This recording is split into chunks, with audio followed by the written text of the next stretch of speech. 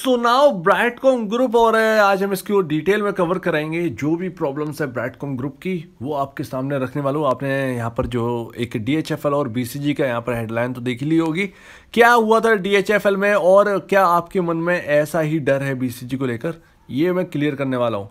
अभी देखिए 41.05 का प्राइस चल है और अभी ना मैं आपको बता दूँ, बहुत ही बेहतरीन तरीके से आज ब्राइटकॉम ग्रुप ने अपने आप को संभाला मतलब आप आईटी के बड़े बड़े शेयर देखिए, तीन से पाँच परसेंट के आसपास गिराए इन्फोसिस से आप चार, साढ़े चार, पाँच परसेंट के आसपास गिराए टीसीएस वो रिकवर नहीं हुआ। मार्केट रिकवर हो गया।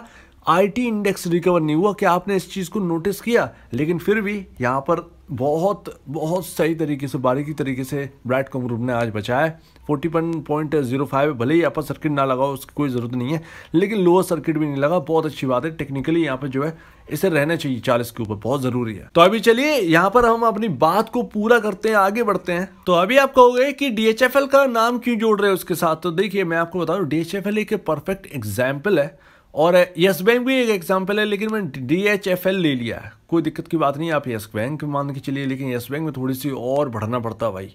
डी एच एफ़ एल को लेके चलते अब नए लोग जो इन्वेस्टर्स हैं वो डी एच एफ़ एल के बारे में अगर नहीं जानते तो आप जान लीजिए, क्योंकि इसका ना जानना बहुत ज़रूरी है। डी एच एफ़ एल का पूरा नाम है दीवान हाउसिंग फाइनेंस लिमिटेड, और हाउसिंग फाइनेंस में ये नंबर वन कंपनी है। थी मतलब थी, एक टाइम पर थी। उससे अगर आप देखें एल हाउसिंग फाइनेंस, आपका Indiabulls housing finance housing finance की कोई भी कंपनी हो दीवान हाउसिंग फाइनेंस से पीछे ही रहती। इवन यहाँ पर म्यूचुअल फंड बहुत थे, दीवान हाउसिंग के लोग पैसा लगाते थे उन स्कीम्स पर। बहुत सारा बड़ा कारोबार कर रखा था, लेकिन उस कारोबार के पीछे जो है ना, वो बहुत बड़ा एक राज छुपा हुआ था। और यहाँ पर ना, वो राज ना इसको ले डूबा। इसका शेयर बिक गया एक रुपया पर। एक रुपए पर ये डिलिस्ट हो गया पिरामल ग्रुप ने इस कंपनी को खरीद लिया। खत्म, बात खत्म, इसके असेट्स ले लिया एक्चुअली और डिलिस्ट करा दिया। अब डीएचएफएल में ऐसा क्या हुआ था? कि इतना बुरा हाल हो गया। छह का शेयर, दस रुपये एक रुपये में बिक गया भाई। ऐसा क्या हो गया, क्या हो गया भाई? तो यहाँ पर हुआ क्या था कि फर्जीवाड़ा हुआ था बहुत बड़ा। डीएचएफएल के जो प्रमोटर थे, वो एक्चुअली गेम खेल रहे थे। असल में डीएचएफएल लोन बांटता था तो उतने लोगों को लोन बांटता ही नहीं था। एक्चुअल में डीएचएफएल फर्जी अकाउंट ओपन कर कर लोन बांटता था और उस फर्जी अकाउंट को लोन देकर ना वो कुछ ऐसी कंपनीज़ में लगा देता था जो खुद की कंपनी बनाई हुई होती थी और यहाँ पर जो है उस कंपनी से मुनाफा या कुछ और चीज़ें ले लेता था, भाई डिविडेंड या ए टू जेड जो कुछ मिलता था बस हो जाता था। मतलब एक जगह पैसा घूम कर रह गया था। लेकिन जब एक रिसिव ब्लोअर ने यहाँ पर जो खबर दी कि डीएचएफएल में फर्जीवाड़ चल रहा है तो भैया जब चेक किया गया तो पता चला कि हाँ भैया जानकारी तो सही है यहाँ पर बहुत गड़बड़ चल रही है डीएचएफएल में और फिर पकड़े गए डीएचएफएल के प्रमोटर उसके बाद शेयर हो गया धड़ाम, खत्म कहानी दी एंड रिटेल का पैसा बर्बाद, लेकिन इसके साथ साथ एक और इंसान था जिसका पैसा बर्बाद हो गया प्लस इसके साथ साथ म्यूचुअल फंड और वो इंसान कोई बच्चा बच्चा जानता है उसे। वो थे श्री राकेश झुंझुनवाला जी और इनका 700 करोड़ रुपए बर्बाद हो गया डीएचएफएल के अंदर। Can you imagine the seven hundred crore even यहाँ पर म्यूचुअल फंड जो पैसा लगाए थे डीएचएफएल के शेयर पर, उनका पैसा बिल्कुल चौपट। सरकार ने कंपनी बिकवा कर असेट बिकवा कर यहाँ पर जो पैसा हाथ में लगा, वो कुछ स्कीम्स वालों को हाथ में दे दिया भाई। पैसा लौटा दिया, बस कहानी खत्म, यहाँ पर डीएचएफएल गया। अब यहाँ पर इसका समझने का रीज़न क्या है? मैंने यहाँ पर क्यों लिया है डीएचएफएल को? देखिए, जब आप कहते हैं कि दस हज़ार, बीस हज़ार शेयर लेके रखे हूँ, और दस हज़ार, बीस हज़ार शेयर लेके रखे हैं, आगे के लिए भाई रखे रहेंगे, और हम ये करेंगे, वो करेंगे, एक जगह पैसा, पहली बात तो कभी लगाओ ही नहीं। पहली बात, एक जगह पैसा बिल्कुल मत लगाइए। ये मैं इसीलिए कह रहा हूँ, क्योंकि कल आप ही पूछ रहे थे कि यहाँ पर कोई रिकमेंड क्यों नहीं करता? रिकमेंड कोई बात क्यों नहीं करता ब्राडकॉम ग्रुप के ऊपर? कोई बड़ा चैनल जो है, जो भारी भरकम जो दस दस लाख सब्सक्राइबर हैं जिनके मेंबर्स हैं उनके तो उनके सामने ये बात क्यों नहीं? और बीसीजी को हमेशा हटा क्यों देते हैं? साइड में क्यों हटा देते हैं? तो उसका एक बड़ा रीजन है। आपका रिसिवेबल्स ट्रेड रिसिवेबल्स यहाँ पर जो है एक बड़ा समस्या है। देखिए प्रॉफिट फ्रॉम ऑपरेशंस जो है ये आपको कैश फ्लो में डिटेल मिलेगी। ये मार्च 2022 की डिटेल है और इसके बारे में मैं आपको बता चुका हूँ डिटेल में। पूरे रिसिवल्स ट्रेड रिसीवल्स के ऊपर डिटेल में वीडियो बनाकर मैंने आपको दिखाई है। 1503 करोड़ का प्रॉफिट हुआ कंपनी को मार्च 2022 से पूरे एनुअल रिपोर्ट का अगर देखें तो 1503 करोड़ का प्रॉफिट हुआ। उसमें से रिसीवेबल्स इनके देखिए। सात सौ इकसठ करोड़ रुपए के ट्रेड रिसीवेबल्स है। यानी कि उधारी है। इनको लेना है इतना पैसा। सात सौ इकसठ करोड़ रुपए जो है वो कंपनी के अंदर आना है। यानी कि जो इन्होंने काम तो कर दिया, लेकिन पैसा वहाँ से मिला नहीं है उन कंपनियों से तो ये आना है। तो बाकी तो आपका प्रॉफिट है। बाकी ये जो सात सौ इकसठ करोड़ की जो फिगर है, वो अभी आपका आना बाकी है। ठीक है, बात खत्म करते हैं। अभी यहाँ पर ये देखिए इसका 2021 मार्च में कितना ट्रेड रिसीवेबल था? तो आठ सौ छियासी करोड़ का प्रॉफिट था, जिसके आगे आपका 144 करोड़ रुपीस का यहाँ पर जो है ट्रेड रिसीवेबल्स था। तो पहले प्रॉफिट की तुलना में ट्रेड रिसीवेबल्स कम थे, लेकिन इस वक्त जो है वो 50 परसेंट ट्रेड रिसीवेबल हो गया है। जी हाँ 50 परसेंट इसीलिए इसको जो है ना, लोग पीछे हट जाते हैं इससे। और ये चीज़ मैं आपको बता चुका हूँ कि ट्रेड रिसीवेबल्स एक बड़ी प्रॉब्लम है, लेकिन जब भी मैं करता हूँ यहाँ पर ट्रेड रिसीवर्स की बात तो मैं एफ़ इंडिया को इसके सामने जब भी देखता हूँ तो ट्रेड रिसीवर्स ना थोड़ी सी टेंशन कम हो जाती है। क्योंकि मार्च 2021 में ट्रेड रिसीवेबल्स की संख्या आप एफिल इंडिया में देखिए 131 करोड़ का प्रॉफिट फ्रॉम ऑपरेशन था और यहाँ पर रिसीवेबल्स जो है, वो माइनस थर्टी करोड़ के थे। यानी कि 131 करोड़ का जो प्रॉफिट हुआ था, उसमें से 31 करोड़ रुपए बाकी कंपनियों से आना था। ये 131 करोड़ आपके नंबर्स आपके बैलेंस शीट में तो आ गए, लेकिन इकतीस करोड़ आपके पास आना अभी भी बाकी है। यानी कि सीधा सीधा सौ करोड़ कंपनी को कुल मिलाकर मिले। उसके बाद इकतीस करोड़ आना बाकी है। लेकिन मार्च 2022 में क्या हुआ? एफिल इंडिया के अंदर 244 करोड़ का यहाँ पर प्रॉफिट फ्रॉम ऑपरेशन हुआ। 131 करोड़ से बढ़कर 244 करोड़ पहुँच गया। ठीक है ना? यहाँ पर क्लियर हो गई। लेकिन यहाँ पर हुआ गया ट्रेड रिसीवेबल से मार्च 2022 में एफिल इंडिया की जरा देखिए 31 करोड़ से बढ़कर एक करोड़ पर ट्रेड रिसीवेबल्स पहुँच गए।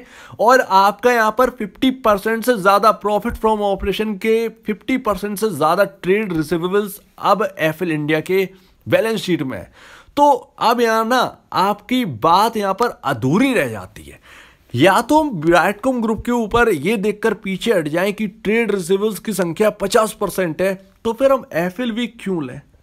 ये सबसे बड़ी बात है। मैं ब्राइटकॉम ग्रुप का कोई लीगल एडवाइजर नहीं हूँ।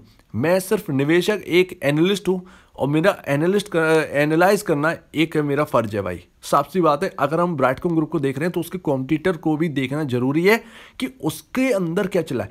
सडनली एफिल इंडिया के अंदर ट्रेड रिसीवेबल्स कैसे बढ़ गए? तो ये एक बड़ा क्वेश्चन मार्क है ना। हम ब्राइटकॉम ग्रुप को क्यों दूसरी ठहरा दें? हम एफिल जो एक नंबर वन पेडिग्री जिसे हम कहते हैं नंबर वन कंपनी कहते हैं क्यों हम इससे पीछे हटते हैं इस बात से पीछे हटते हैं? तो इसीलिए मैं ब्राइटकॉम ग्रुप का एनालाइज जो करना जो है ना, वो मैं इस चैनल पर जारी रखे हूँ और आपको डिटेल देता रहता हूँ। इसका मतलब ये नहीं कि मैं आपको रिकमेंड कर रहा हूँ कि लो ही भाई। ब्रैडकॉम ग्रुप आप लो ही भाई।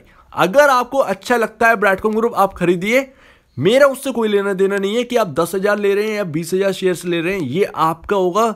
नंबर वन पहली बात तो आप ध्यान रखिए आपको रिस्क लेने की कैपेसिटी होना ही चाहिए। मार्केट के अंदर, मार्केट के अंदर आप हैं तो किसी भी शेयर को अगर आप लेते हैं, चाहे वो कितना भी दिग्गज हो, इसीलिए मैं दीवान हाउसिंग को आपके सामने रखा कि नंबर वन कंपनी है। वो हाउसिंग फाइनेंस की नंबर वन कंपनी थी।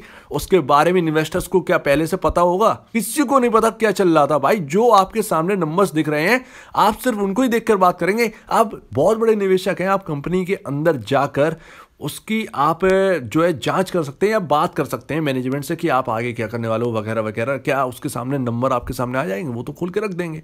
तो ये एक बिग एग्ज़ाम्पल है कि मार्केट में अगर जो कुछ होना होगा, आपको नहीं पता, आप ट्रेड रिसिवल से आप एक चीज़ कैच नहीं कर लोगे। बाकी सारी रिपोर्ट तो है ना आपके सामने तो आप इन रिपोर्ट्स को देख कर ही आप सही ठहरा सकते हो। लेकिन रिस्क किसी भी शेयर में अगर आप पैसा डालते हो, रिस्क आपके साथ साथ है, भले वो टीसीएस क्यों ना हो, भले कोई भी क्यों ना हो, शेयर गिनने में ज़रा सा अभी टाइम नहीं लगता है। ध्यान रखिएगा। तो ये ना, जरा सोच समझ के आप पैसा लगाया करो भाई। एक ही अंडे में पैसा डालने का मतलब नहीं है। जगह जगह रखोगे तो अच्छा रहेगा। एक अंडा फूटेगा तो भाई, बाकी अंडे तो सही, सेफ़ सलामत है ना। तो इसीलिए ये थ्योरी बनाई गई है, अंडे वाली। तो मेरा कहना यही है, अगर आप दस दस हज़ार शेयर उठा रहे हो तो आपके पास रिस्क भी होना चाहिए। ये मत भूलना कि मैं रिस्क के अंदर नहीं हूँ। रिस्क हमें साथ साथ चलेगा, ध्यान रखिएगा। और अभी आपने रिसेंटली निक्सन पटेल को आते हुए देखा कंपनी के अंदर। निक्सन पटेल कोई छोटा मोटा नाम नहीं है भाई, हम लोग जानते नहीं है। एक्चुअल में टीआई हैदराबाद ग्लोबल में भी ये शामिल है। इसके साथ साथ एक एक लाइन और लिखी थी, कल मैंने बता नहीं पाई।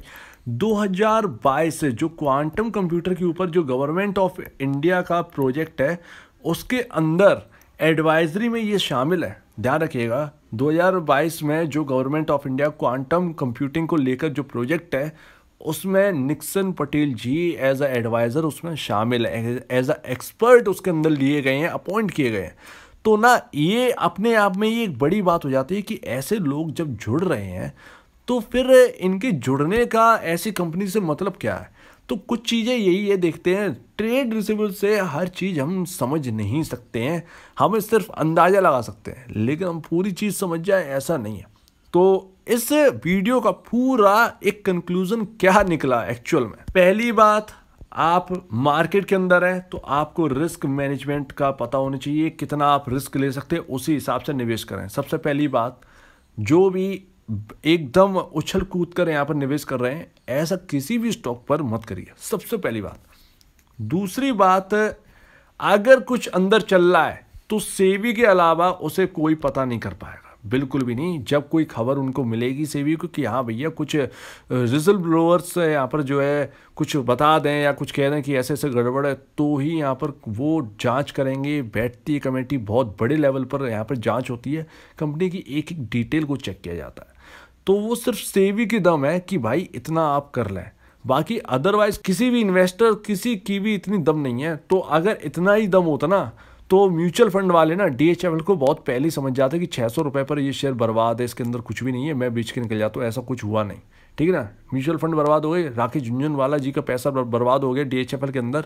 तो वही चीज़ है कि नहीं समझ सकते कि कहाँ पर पैसा रिस्क के अंदर डला है। एक्चुअल बात यही है। अगर आपको लगता है कि भैया यहाँ पर मुझे बीसीजी समझ में नहीं आ रहा, देन अपना डिसीज़न आप लीजिए, किसी और जगह देखो। जिसे लगता है कि हाँ भैया मैं रिस्क ले सकता हूँ, वही निवेश करे। क्योंकि यहाँ पर खबरें बहुत ज़्यादा उड़ चुकी हैं, रिस्क की माना जा चुका है। तो आप अपने हिसाब से ही चले। अगर आपको ट्रस्ट है, देन आप यहाँ पर होल्ड करके चलिए। अगर आपको ट्रस्ट नहीं है, बिल्कुल यहाँ पर होल्ड करने की ज़रूरत नहीं है। एफिल इंडिया जैसे शेयर में कर दीजिए, जहाँ पर नंबर वन माना जाता है उसे। तो सारी चाबी आपके हाथ में है। यहाँ पर मेरा काम एनालाइज करना है। अगर मुझे चीज़ सही दिख रही है, मैं एनालाइज कर दूँगा। मुझे ब्रैडकॉम ग्रुप में दिख रहा है कि भैया ट्रेड रिसिवेबल्स मेरी भी एक कंसर्न है, बहुत बड़ा कंसर्न मैं लेके बैठा था। इवन यहाँ पर क्यू के रिज़ल्ट में ट्रेड रिसिवेबल्स का नंबर नहीं आया तो एक टेंशन वाली बात हो गई थी। लेकिन फिर भी जब मैं एफ़ इंडिया का आपके सामने जब मैं लेके आता हूँ तो भैया एफ़ इंडिया में कैसे ऐसा हो गया? जब एफ़ इंडिया एक बढ़िया कंपनी है तो ट्रेड रिसिवेबल्स पचास परसेंट को क्रॉस कैसे कर गए? तो वही चीज़ है ना। तो यहाँ पर ना तब यहाँ पर जाकर थोड़ा सा काबू में करना बनता है कि जब ऐसे कंपनी में चल ही रहा है तो फिर यहाँ पर भी चल रहा है। तो कंसर्न रखने का कोई मतलब ही क्यों है? तो ट्रेड रिसिवल्स पे अगर लोग पीछे हट रहे हैं तो भाई, आपके सामने चीज़ें आप जैसा चाहें आप कर सकते हैं। आपका रुपये आप जाने। सिर्फ़ मेरा काम यहाँ पर बताना है। जो खबर आएगी, मैं उसे बताऊँगा। जो लगता है, मैं आपको वो बता दूँगा। बाकी सब मार्केट और आपके ऊपर है। तो उम्मीद है आप मेरी बात बहुत अच्छे से समझ गए होंगे। अगर आपको बिल्कुल कोई भी प्रॉब्लम है, कुछ पूछना है, कुछ बताना है, कुछ कहना है तो प्लीज़ कमेंट सेक्शन में कहिएगा और आप दीजिए मुझे ज़्यादा वीडियो देखने के लिए बहुत बहुत धन्यवाद दोस्तों।